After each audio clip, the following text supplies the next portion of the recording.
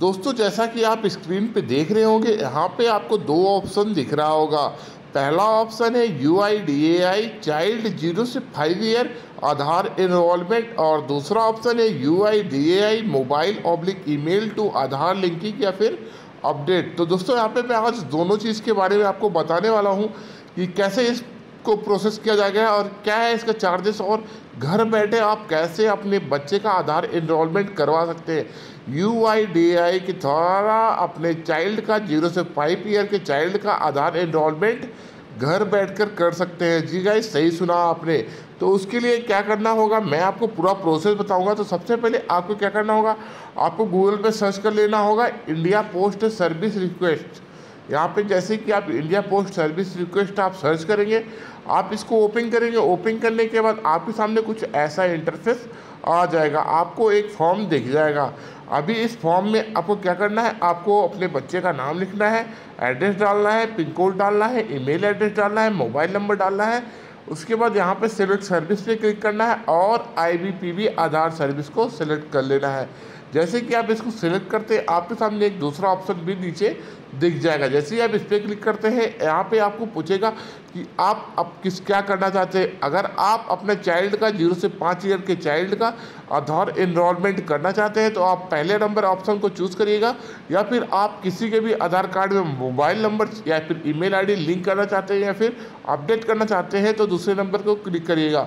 तो यहाँ पर मैं बता दूँ कि जो पहला ऑप्शन है, चाइल्ड का जहाँ पे आप चाइल्ड का ज़ीरो से फाइव ईयर्स के चाइल्ड का आधार इनरोलमेंट करते हैं तो वो बिल्कुल भी फ्री है।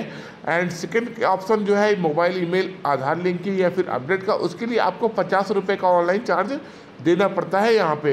तो जैसा कि मैं यहाँ पे आज आपको बताने वाला हूँ कि आपका जो चाइल्ड है, उसका आधार इनरोलमेंट आप घर बैठे ऑनलाइन कैसे कर पाओगे? तो उसके लिए आपको सिंपली ये फॉर्म भर देना है एंड रिक्वेस्ट ओ टी पे क्लिक करना है। रिक्वेस्ट ओ टी पे क्लिक करने के बाद आपको ओ टी पी डाल देना है।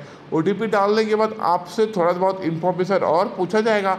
आपको सिंपली वो सारी डिटेल फिल कर देनी फिल कर देने के बाद आपके पास एक रेफरेंस नंबर आ जाएगा। आप रेफरेंस नंबर लेके यहाँ पे देखिए सबसे ऊपर एक ऑप्शन बना हुआ है। Click to track your request यहाँ पे आप देख सकते हैं click to track your request का ऑप्शन दिखा हुआ है। यहाँ पे आप आएँगे और रेफरेंस नंबर डाल के रिक्वेस्ट को अपने ट्रैक करेंगे। जैसे ही आपका रिक्वेस्ट जो है कंप्लीट होता है, आपका आधार कार्ड बन जाएगा। अगर इस पर कोई त्रुटि आती है या फिर कोई सरकार को या सॉरी यू को कोई और चीज़ की रिक्वायरमेंट रहती है, जानकारी की रिक्वायरमेंट रहती है तो उसके लिए भी आपके घर वो बंदा भेजेगी, आपके यहाँ पोस्टमैन को भेजेगी, जो आप इस चीज़ की जानकारी लेंगे कि क्या क्या जानकारी रह गई है, किस चीज़ की जानकारी और चाहिए इस चीज़ के लिए तो वो सारी डिटेल फिलअप करके आपका आधार कार्ड जो है इन्वॉल्वमेंट कंप्लीट करवा देते हैं और जो है आपका Aadhaar card within seven days आपके घर पे डिलीवरी करवा दिया जाता है। तो दोस्तों, यही सारा प्रोसेस था।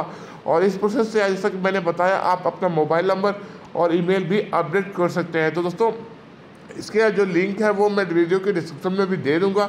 एक बार और आप उसको जाके क्लिक करके चेक कर लीजिएगा कि क्या पूरा प्रोसेस है उसका। और प्लीज़ वीडियो को लाइक कर दीजिएगा, अगर अच्छी लगे अगर वीडियो इन्फॉर्मेटिव हो तो आप प्लीज़ वीडियो को लाइक कर दीजिएगा एंड चैनल को सब्सक्राइब करना मत भूलिएगा। Thank you